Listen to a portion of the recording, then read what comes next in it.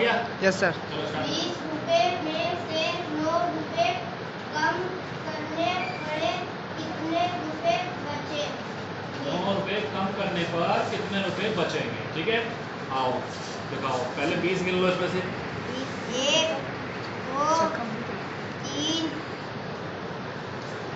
चार पाँच छः सात आठ नौ दस ग्यारह बारह तेरह चौदह पंद्रह सोलह सत्रह अठारह उन्नीस बीस ठीक है बीस हो गया।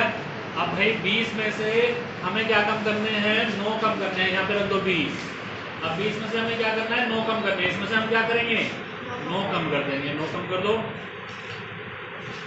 गिन के बताओ गिन के एक दो तीन चार पाँच छ सात आठ नौ।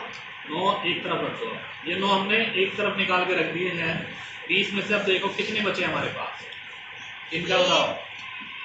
एक दो तीन चार पाँच छ सात आठ नौ दस ग्यारह। ग्यारह।